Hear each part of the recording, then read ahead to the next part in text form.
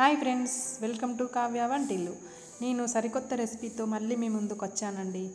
అదేనండి mutton curry. ఈ curry రైస్లోకి కానీ చపాతీలోకి కానీ పూరీలోకి కానీ చాలా బాగుంటుందండి. మీరు ఒక్కసారి నా స్టైల్లో ట్రై చేయండి. సూపర్గా ఉంటుంది. మళ్ళీ మళ్ళీ చేసుకొని తినాలనిపించే అంత టేస్టీగా. ఇక ఆలస్యం చేయకుండా చూసేద్దాం. ఫస్ట్ మటన్ని బాగా కడుక్కోవాలండి ఫ్రెష్గా. నేనైతే టూ టైమ్స్ త్రీ టైమ్స్ కడిగాను.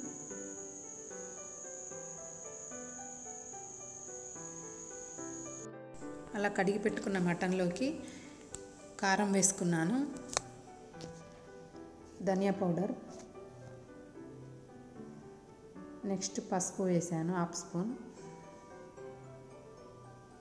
ఇప్పుడు ఒక స్పూన్ ఆయిల్ వేసానండి.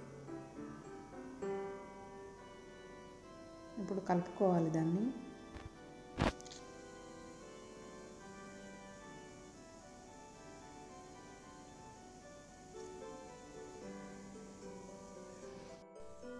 ఇప్పుడు నేను పెరుగు వేసుకున్నానండి అందులో. పెరుగు వేస్తే చాలా టేస్టీగా గ్రేవీ కూడా చాలా బాగా వస్తుంది కర్రీకి. గ్రేవీ చిక్కగా ఉంటుందండి. నేను ఇందులో అల్లం వెల్లుల్లి పేస్ట్ వేయట్లేదండి. డైరెక్ట్ పోపులో వేస్తాను. ఫ్రై అయితే బాగుంటుందని. ఇప్పుడు ఇది పక్కన పెట్టుకుందాం.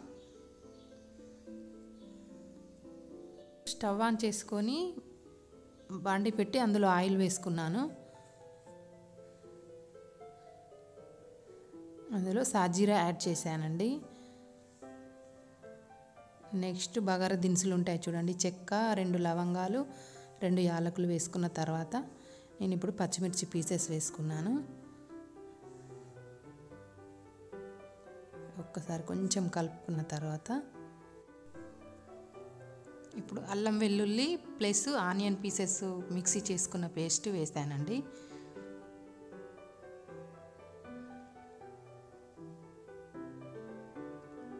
ఇప్పుడు కలుపుకోవాలండి.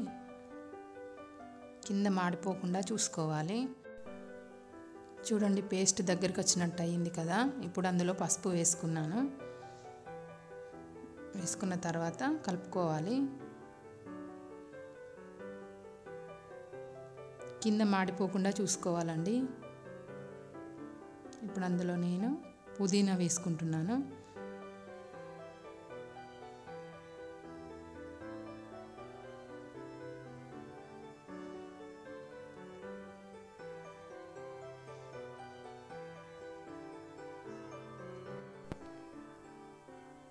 నెక్స్ట్ మటన్ వేసుకోవాలండి.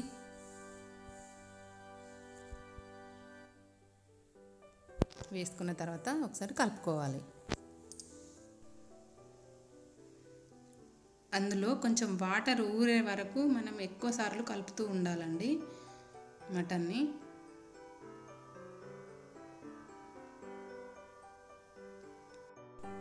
స్టవ్ సిమ్లో పెట్టుకొని కలుపుతూ ఉండాలండి. స్టవ్ హైలో పెట్టుకుంటే కింద మనం వేసిన పేస్టులన్నీ మాడిపోయి కర్రీ టేస్ట్ మొత్తం మారిపోతుందండి.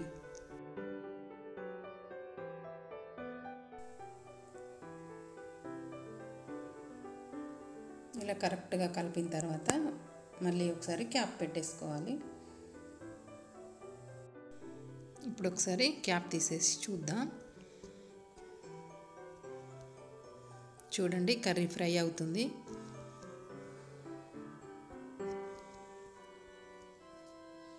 కర్రీ ఫిఫ్టీ పర్సెంట్ ఉడికే వరకు వాటర్ వేసుకోవద్దండి అందులో. ముక్కకి మసాలాలన్నీ మంచిగా పట్టుకున్న తర్వాతనే మనం వాటర్ వేసుకోవాలి గ్రేవీ కోసం.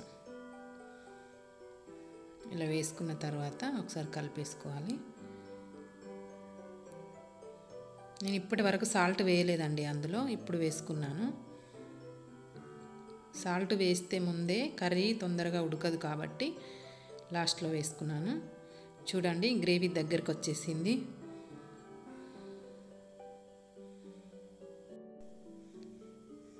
చూడండి సూప్ థిక్నెస్ వచ్చేసింది.